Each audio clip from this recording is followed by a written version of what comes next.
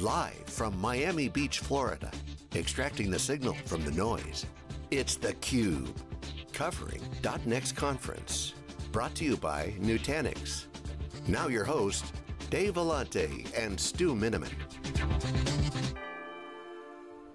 Welcome back to Miami, everybody. This is Dave Vellante, Stu Miniman at the .next conference. Chris Wahl is here, he's the founder and president of Wahl Networks. We're just having a Nutanix love fest here.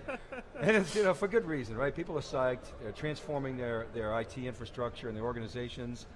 You know, fits in with you know DevOps, near and dear to your heart. So Chris, thanks very much for coming on theCUBE. Oh, thanks for inviting me on. Long time uh, watcher, never been on before. So. Awesome, CUBE newbie, we love it, and uh, appreciate you watching, thank you. Sure. So, you've had a chance to, you know, we've been on the cube all day, we really haven't been able to attend any sessions. What's the vibe at the show? What are you hearing customers saying? I'll tell you one of the coolest thing about the show thus far is I've, I've been to three or maybe four sessions. It's been a long day. Uh, every one of them involved customers in some way. Either uh, I went to a return on investment ROI session with Steve Kaplan, and he had a panel of customers, including financial data, talking, you know, hey, here's why we like the solution, here's our pain points, you know, here's the problems that we're solving. So that's pretty cool. I mean, even in the keynote, they had customers up there, but every session there's customers talking about how they're using the platform, which well, is kind of rare. Yeah, Chris, isn't that what a user group's for? You go to a lot of VMUGs, you speak at the VMUGs, you've been to VMworld, other shows. You know, isn't that what it's all about well, as a user? They, the first, yeah. first, the, the kickoff was two of the first customers. That was sort of exactly. yeah, that was uh, surprising. I tell you, you know, we do a lot of conferences, and ServiceNow is one of the best. And they make the point, and I would say this to anybody thinking about you know, doing an event like this: 85% of the content Frank Slootman talks about this all the time. 85% of the content comes from customers. And that's where practitioners like yourself get value, isn't it? Yeah, it's, it's absolutely, I would say it's invaluable. You have to have customers on. The, the challenge is it's tough, right? A lot of times you want to have customers on, and you want to make sure that they're, you know, guided a little bit as far as content, what they're going to, what they're to uh, present to the audience. It, it's scary for those folks, but I think they've handled it well for a number of reasons. One, they had uh, like I said, a panel of folks. So you've got a moderator kind of to help make sure that the questions coming from the audience make sense to the folks that are on the panel. Uh, we had another session talking about containers. So I think uh, Kelsey Hightower was here talking about CoreOS and Tectonic and things like that, mm-hmm. uh, as well as uh, Benny from Nutanix was up there kind of counterpointing that, talking about how they're going to use the containers. And it's just really cool when you get to hear people actually saying, yeah, we solved this particular problem with the platform, and we're happy about it. You know, we're not up here, you know, you don't see any $100 bills stuffed in their coat pocket or anything. They seem to be genuinely passionate about the solution that they've acquired. So I asked, Stu and I talk about this all the time back in, in Marlboro, but what's really different about this so-called hyperconverged? What's really different about Nutanix? I mean, compare it to the, the sort of original converged infrastructure, you know, the V-block, there's the HP stuff, obviously Exadata is a little different animal, IBM kind of has some integrated systems, mm -hmm. And there are others, NetApp. What's the real difference between the sort of traditional converged infrastructure and Nutanix? I think it's a couple different things. First, you're able to wipe the slate clean from a lot of that legacy architecture, right? It's not that we built a stack of components and just plumbed them together, right? It's, you know, a lot of cases here, for Nutanix as an example, it's Dell or Supermicro with all these software bits on top. It's all these commodity pieces uh, with the software bits on top. So that's number one, it's, it's kind of wiping the slate uh, clear. Number two, it's all about the software, right? We're taking those commodity pieces and we're gluing together with software, which means we can iterate upon features and functionality really rapidly. Uh, you look at uh, erasure coding was a new feature added by Nutanix and announced at the conference, and they're showing now without any physical change, you can get way more space efficiency out of your node even if you're an existing customer, potentially you could just acquire this software piece, stick it into there using their one-click upgrade process, and you're using new feature functionality. That's not really something you can do easily with the legacy architecture, the converged architecture stacks. And I think the third piece of that is that it is managed as a thing. You know, you look at a lot of the other converged infrastructure systems, they have a manager of managers. You know, it's like this element manager soup and a lot of it kind of gives you data but doesn't allow you to control.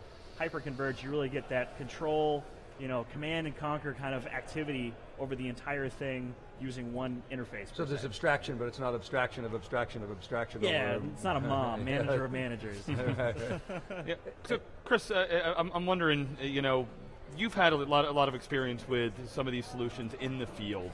There's always kind of some of that promise. I mean, it's always it's faster, better, cheaper, everything else like that. Um, hyperconvergence isn't necessarily you know the cheapest infrastructure out there.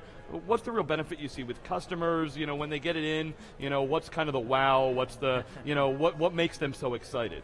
I think there's I think you can split that up into day one and day two, right? Day one, you look at uh, VCE, for example, with the vBlock.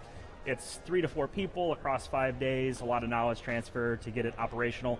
And then there's probably 40 ish days on the back end to get it configured and all that kind of stuff. So there's that versus hyperconverge. It's usually half a day, something like that. You know, with, by the end of the day, you're able to consume the product, depending on how long it takes to get it in there. So there's that, which I don't put a lot of value into. That, that certainly is value, but that's kind of table stakes for next gen. I feel like, I know when I first saw it, I'm thinking, wow, this is so simple. They've abstracted away all the LUNs, all the storage grouping, you know, all of the components to build this thing and make it usable is completely abstracted away. I just log into an interface and say, hey, I want a data center, and it builds one for me. And in the case of Nutanix, I can say I want an ESXi flavored data center, and it'll inject the hypervisor onto the nodes. But there's a tremendous amount of value, just that's kind of the beginning of day two. And then when I want to do an upgrade, you know, matrix upgrades with something like a vBlock, that's a non-trivial amount of effort. You know, it takes days of time to go through uh, kind of a list of here's the storage revisions, here's the firmware. They do test it for you, there's value there, but it's not trivial to get all that upgraded versus click a button and your entire system kind of upgrades non-invasively. That's that's pretty cool that they can do that. Adds a lot of value for the operations team. So, I saw you attended a session today on negotiation strategies. I'm interested in that because it's timely. We're hearing a lot about you know the VTAX and other you know interesting moves by Nutanix and others. Mm. Um, so, what was that session all about? What was the context? First, I'll say that was one of the coolest sessions I've been to so far. It's not the traditional conference session. Uh, they brought in a professor from the Harvard School of Business to talk around negotiation tactics. And he actually had a really cool presentation where he talked about four different stories. And it was, remember the choose your own adventure books where it's like, if you choose this, go to page nine? It was like that. He got you all the way up to the negotiation part of the story and asked the audience, you know, what would you do? in this use case. And you could say, oh, I would, you know, this is what I'm feeling about that. Maybe they're trying to take over my company. And then it, it was a real life use case. So it'd say, here's what happened. Here's the kind of the benefits, the drawbacks. And it was eye opening. The whole room actually was very quiet. It ran over a little bit into lunch. And if anyone's been to a conference, they know you don't run over lunch. the guy apologized and says, I'm running about 10 minutes over. If you want to leave, go ahead, I won't be offended, but I'm going to finish this last story. One guy left, and I felt like maybe that would have been a time to negotiate to get him back in his seat, but, but that didn't happen. So it was just really interesting to hear, uh, you know, a veteran who's done, you know, uh, he's talked about the NFL and various other, you know, sports and business negotiations to apply that to more of a general audience to help us negotiate strategically. Imagine that. So, so. let's sort of bring that into IT.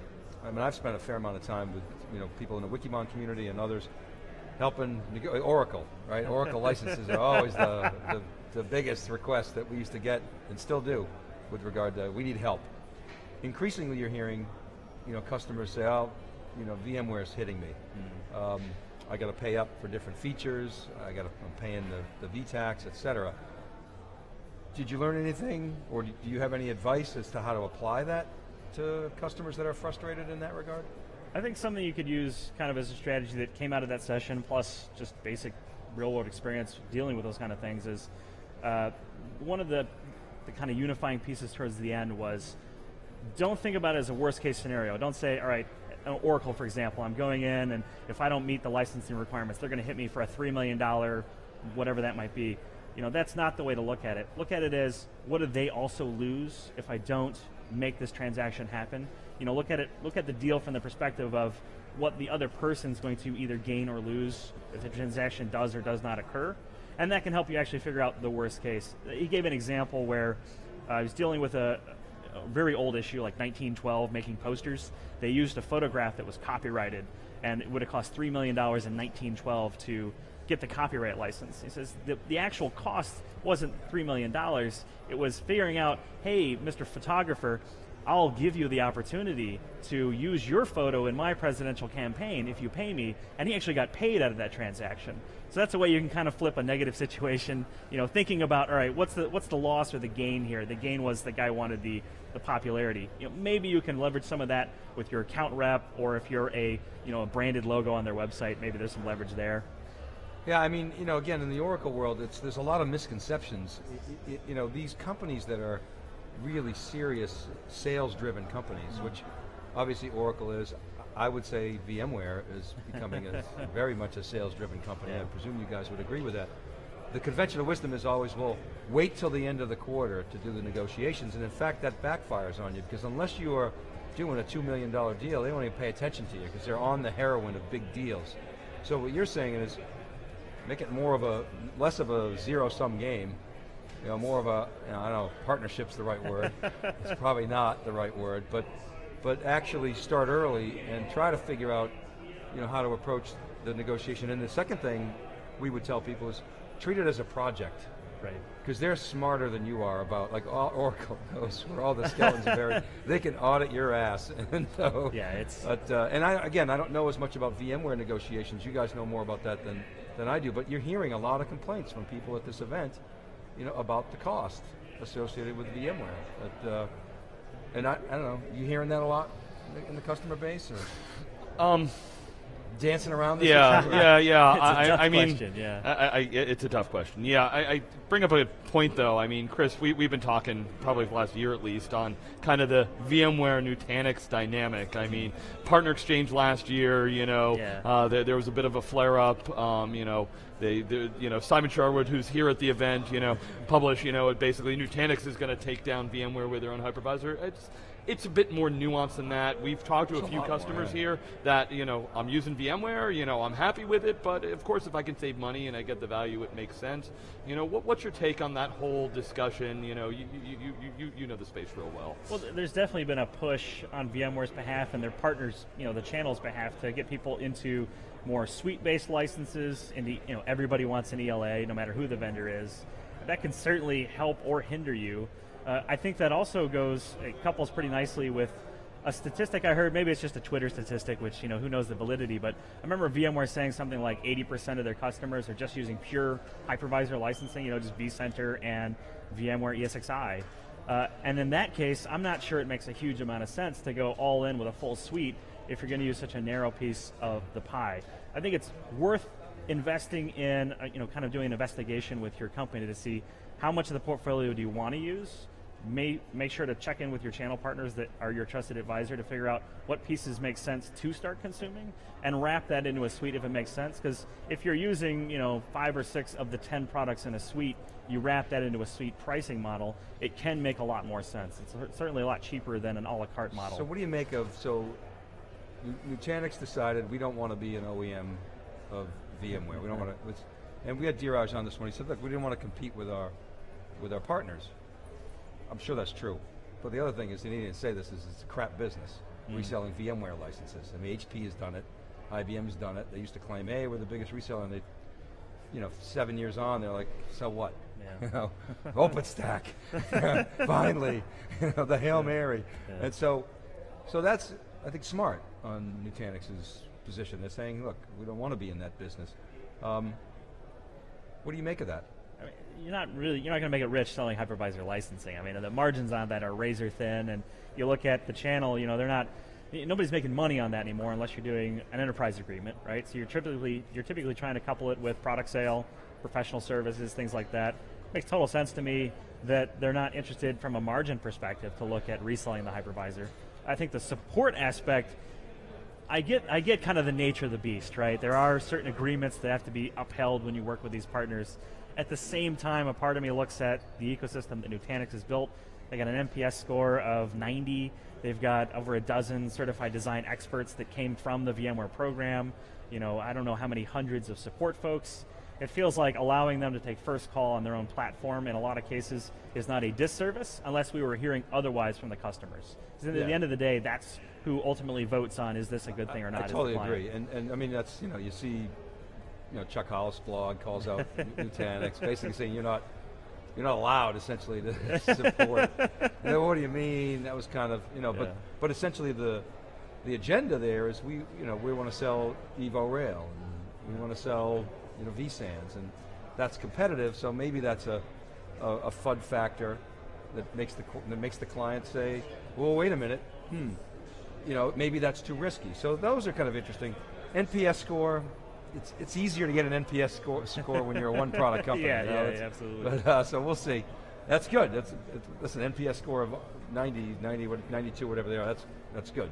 Yeah, Yeah, so I- I'm curious, you know, we talked about the customer angle. What, what about the channel? I mean, channel's kind of stuck in a little bit middle, you know, pulled by VMware, pulled by Nutanix, you know, what, what, what do you hear in general?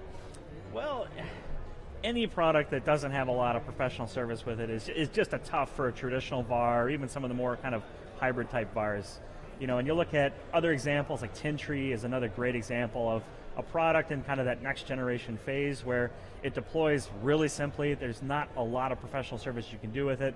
Veeam is another example where you, know, you have to be creative with am I going to add to you know workflow creation with something like vRealize automation? Am I helping to build a private cloud? But just reselling the product directly isn't really an end game thing. You're not going to be able to feed your engineers off that kind of thing. So that's kind of where my headspace is on it. Yeah, so I'm, I'm curious. I've been poking at you. Look at all the announcements that they made uh, this week here at the at the conference, Nutanix, and you know Acropolis gets a lot of uh, you know attention. You know, a whole lot of other things. I mean, the you know SMB file stuff, pieces there. Did you see anything there that helps the channel make more money? a couple different things potentially. So you know, I don't think the whole world's going to immediately just jump onto a KVM-based hypervisor. You know, VMware's got a huge entrenched customer base for a And it's reason. good. Yeah, it's it's a good product. What really kind of tickled my interest there was number one, they brought Microsoft up on stage and kind of de-emphasized all the VMware components in their stack. They made it go gray. Everything else was bright green. It's like, all right, I, I get the signal there. I understand where we're going with that. Uh, and there's definitely a lot of integration points hinted to, or at least roadmapped in that keynote saying we're going to offer some ability to go to public cloud with Amazon, with Azure. You know, we're going to allow you to run the app kind of anywhere. We're going to go for containers. And you look at that, that kind of portfolio, a lot of that doesn't include VMware.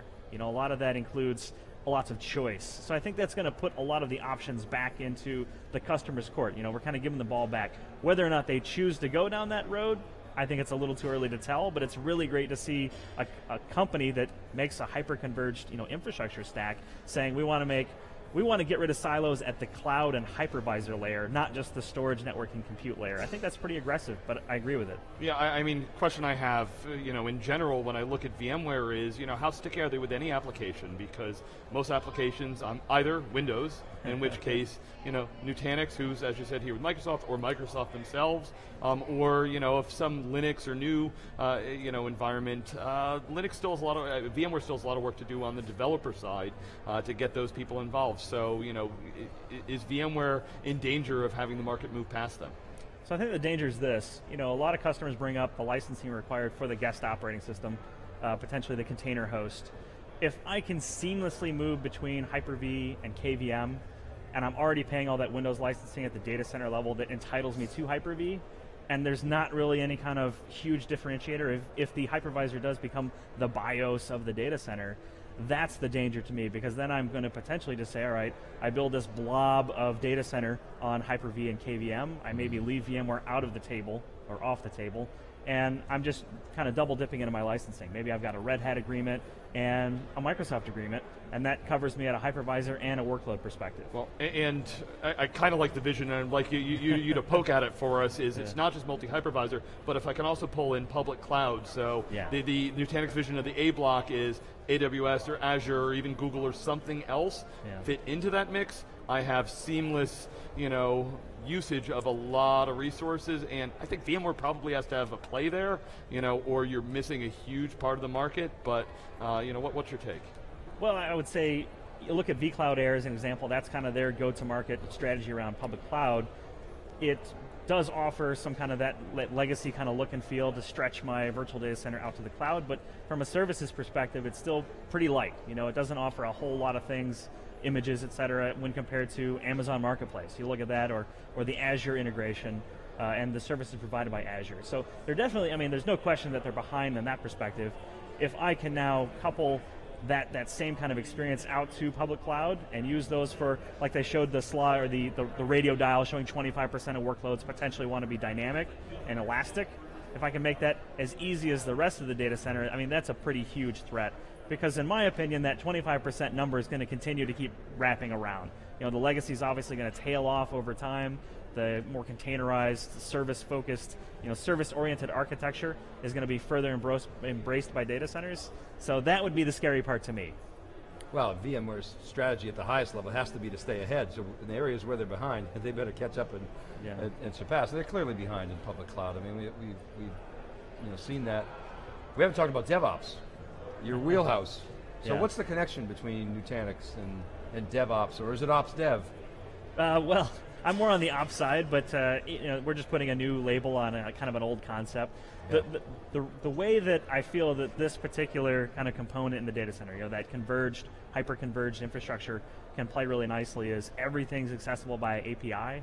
It's all controllable by API. It's very easily scripted and automated, and that's a that's a real challenge today. You look at the folks using Ansible as an example uh, that, to do all these network piece automations. Uh, you know, they're using Chef and Pup and all these other components, and they're having to use NETCONF for some of their, you know, push Python code to a switch as an example. If I could treat my data center just like an API-driven entity, like the whole thing is an endpoint, pull in metadata, push metadata in, whatever it may be, I think that offers the ability to really automate out a lot of our day-to-day infrastructure components. So that gets me kind of giddy in the morning. It gives me the excited DevOps shakes. That's awesome. All right, Chris Wahl, we have to leave it there. Thanks very much for coming on theCUBE. It's really a pleasure having you.